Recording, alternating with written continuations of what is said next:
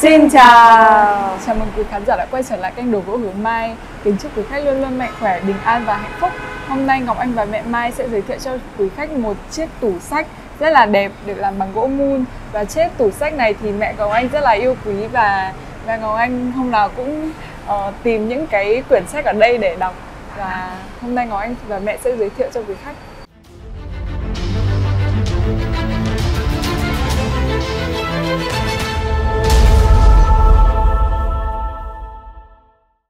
Đây là một chiếc tủ mà bằng gỗ mun rất là quý và đẹp. Kích thước của tủ này là 2m17 chiều dài và 2m17 chiều cao. Sâu nòng của chiếc tủ này là được 60 nên là nhà quý khách mà để thì à, cả phủ bì được 60, quý khách để thì sẽ thao gồm mà để tất cả các cái à, đồ đạc trên à, sách này và sách thì chính là tri thức của nhân loại. Có rất là nhiều những lời vàng à, trong kinh sách được à, đặt để vào trong cuốn sách này. À, đặc biệt là trong tổ nhà hướng mai thì đang có những cái à, như là ý dẫn đầu các pháp ý làm chủ ý tạo. Nếu nói hay hành động với tâm ý trong sạch an lạc sẽ theo sau. Như bóng không rời hình à, ý dẫn đầu các pháp ý làm chủ ý tạo. Nếu nói hay hành động với tâm ý ô nhiễm khổ đau sẽ theo sau như xe lăn vật kéo. Đây là trong những cuốn sách uh, lời vàng của Phật. Và uh, sách thì uh, uh, nó giống như là mình đọc mỗi một lần mình có thể quên. Sau khi mà mình uh, quên rồi thì bất cứ lúc nào có cần cần đến những cái ý tưởng thì ngay lập tức trong đầu của mình nó đã hiện ra những lời dạy những lời vàng của Đức Phật rồi. Nên là có thể là nó sẽ làm cho mình quên nhưng mà nó giống như là một chiếc giỏ than vậy.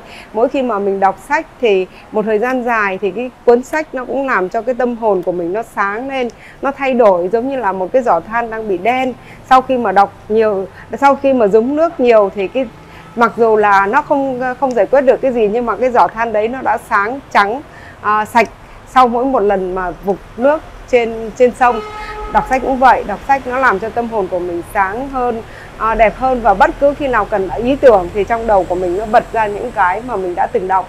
Và hôm nay thì à, công ty hướng mai xong được một à, chiếc tủ sách này bằng gỗ mun rất là quý giá và để rất là nhiều các cái loại sách lời vàng của Phật cũng như là thiền tuệ đời thường hay là tất cả các cái uh, những cái uh, câu chuyện của Đức Phật thì đã được đề trong tủ này và hướng mai xin được uh, gửi liệm lành lời biết ơn lời chúc sức khỏe tới toàn thể gia đình quý khách luôn an vui hòa hợp bình an mạnh khỏe hạnh phúc và thành công Cảm ơn quý khách đã luôn quan tâm và theo dõi các sản phẩm của đồ gỗ hướng mai.